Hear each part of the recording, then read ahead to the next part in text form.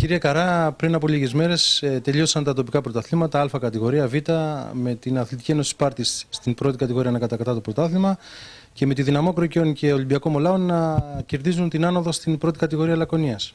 Πράγματι, θέλω να πω ότι είμαστε πάρα πολύ ευχαριστημένοι με τη λήξη του πρωταθλήματος γιατί και οι τρεις ομάδες, ανεξάρτητα την κατηγορία που αγωνίστηκαν και βεβαίως με τις ανθυποψήφιες ομάδες που ήταν και αυτές στη διαδικασία της ανόδου ε, έπαιξε ένα πολύ καλό ποδόσφαιρο και δίκαια. Πήραν την πρώτη θέση η Σπάρτη στην πρώτη κατηγορία και η ομάδα του Δυναμό Κροκαιών στη β' κατηγορία στο, στο, στον πρώτο όμιλο και ο Ολυμπιακού Μολάων στο δεύτερο όμιλο. Και μάλιστα θα να πω ότι και ο Ολυμπιακός και ο Δυναμό είναι για πρώτη φορά στην ιστορία τους στην πρώτη ρασενική κατηγορία και τους εύχομαι πραγματικά πολύ δύναμη και συνέχιση της δουλειάς που κάνουν ώστε να ανταποκριθούν και στη νέα μεγάλη κατηγορία της Λακωνίας. Όσον αφορά για τη Σπάρτη, ήταν μια χρονιά νομίζω για την ομάδα της Αττικής Ένωσης Σπάρτης πολύ σημαντική γιατί εκτός ότι είχε μια ομάδα η οποία επάξια, όπως είπαμε, έγινε πρωταθλήτρια, πήρε το κύπελο Λακωνίας και η παιδική της ομάδα, ακόμα και στο επίπεδο υποδομών, ήταν η ομάδα εκείνη που αναδείχτηκε στο πρωτάθλημα προπέδων Αλμασπορ. Να έρθουμε τώρα και στην ε, κατηγορία που αγωνίζει το Αθλητικός Όμιλο Κροκιών στο Περιφερειακό Πρωτάθλημα. Τελείωσε το πρωτάθλημα την Κυριακή και στο Περιφερειακό Πρωτάθλημα. Και ο Αθλητικός Όμιλο Κροκιών θα χρειαστεί να δώσει έναν αγώνα μπαράζ με το Τσιλιβί της Ζακίνθου. Στον τελευταίο αγώνα κέρδισε με 4-0 την ομόνιμη ομάδα. Και την Κυριακή την ερχόμενη γίνεται ο αγώνας μπαράζ στα φιλιατρά, από ό,τι ξέρουμε. Ναι, πράγματι, εδώ ήθελα να πω και να τονίσω ότι η παρουσία φέτος του Αθλητικού Όμιλου Κροκιών μιας ομάδας που πρώτη φορά στην ιστορία της ε, συμμετέχει σε αυτό το δύσκολο πρωτάθλημα, μας έχει γεμίσει με μεγάλη ικανοποίηση για τον αγώνα και τη διαρκή προσπάθεια που κάναν όλη την περίοδο. Θέλω να ευχαριστήσω τον κόσμο που συμμετείχε και βέβαια να συγχαρώ όλα τα μέλη του Διοικητικού Συμβουλίου, τον προπονήτη και τους ποδοσφαιριστές που έφτασαν να παίξουν μια κατηγορία σε λίγες ημέρες και όπως προείπατε στο Δημοτικό Στάδιο Φιλιατρών και ώρα 3 λόγω ότι η ομάδα του Τσιλιβί, όπως γνωρίζετε, είναι από νησί και καθορίστηκε μια ώρα νωρίτερα από την προγραμματισμένη λόγω και ότι υπάρχει και μετακίνησή της. Εδώ θα ήθελα να καλέσω όλους τους λάκωνες, όσοι αγαπούν το ποδόσφαιρο, όσοι αγαπούν το ρασενικό λακωνικό ποδόσφαιρο, να στηρίξουν την ομάδα του Αθλητικού Μελού Κροκαιών στα φιλιατρά. Βεβαίως η Ένωση από την πλευρά της όχι μόνο με τη δική της παρουσία προσώπων του Διοικητικού Συμβουλίου ή και εμένα προσωπικά που θα είμαι εκεί, αλλά νομίζω και με οποιοδήποτε άλλο τρόπο ε, θα είμαστε δίπλα σε αυτό το δύσκολο αγώνα, γιατί είναι αγώνα ζωής θανάτου, όπως λέγεται.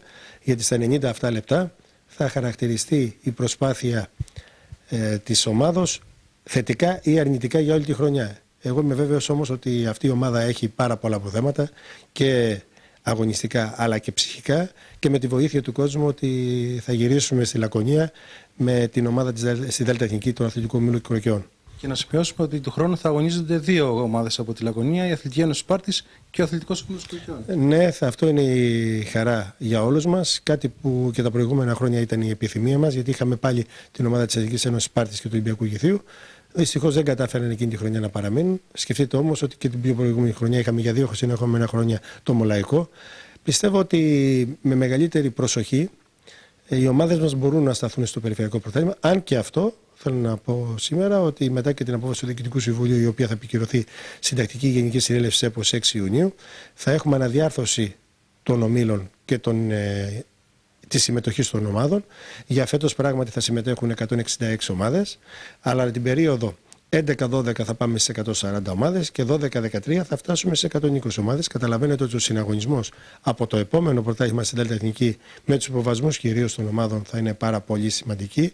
Η προσπάθεια και η προετοιμασία που θα έχει κάνει κάθε ομάδα για να παραμείνει στη Δέλτα Εθνική κατηγορία. Πείτε μας με δύο λόγια, η πρωταθλήτρια της πρώτης κατηγορίας του τοπικού πρωταθλήματος τι θα κάνει μετά, τι θα γίνει; Ε, όσον αφορά ε, τη διαδικασία από την περίοδο 11-12 για την προαγωγή της, δηλαδή στη Δέλτα Εθνική, αυτό δεν το γνωρίζουμε ακόμα. Θα καθαριστεί μετά την αποφασιστική συνέλευση και την προκήρυξη βεβαίως που θα σταλεί στα σωματεία μας το μήνα Αύγουστο. Προημερών είχατε και μια σύσκεψη για αυτό το θέμα, για την διοργάνωση του πρωταθλήματος. Ε, όλα αυτά που μας έχουν, που έχουν επισημάνει όλα αυτά τα χρόνια ε, και βεβαίως με τις αλλαγές που επίκειται και στο επαγγελματικό ποδόσφαιρο αλλά και στην Δέλτα Εθνική, πιστεύουμε ότι προχτές πάρθηκε μια ιστορική απόφαση. Μια απόφαση όμως που θα την δείξει το μέλλον κατά πόσο θα ήταν η πιο εφικτή, η πιο σωστή. Γιατί για να πετύχει κάτι πρέπει να δουλέψουμε όλοι μαζί. Η Ένωση αλλά και ιδίως τα σωματεία. Σε αυτούς αγγίζει το πρόβλημα. σε αυτούς αγγίζει συμμετοχή, σε αυτούς σημαίνει πάρα πολλά πράγματα. Αν θέλουμε να έχουμε μια προαγωγή, μια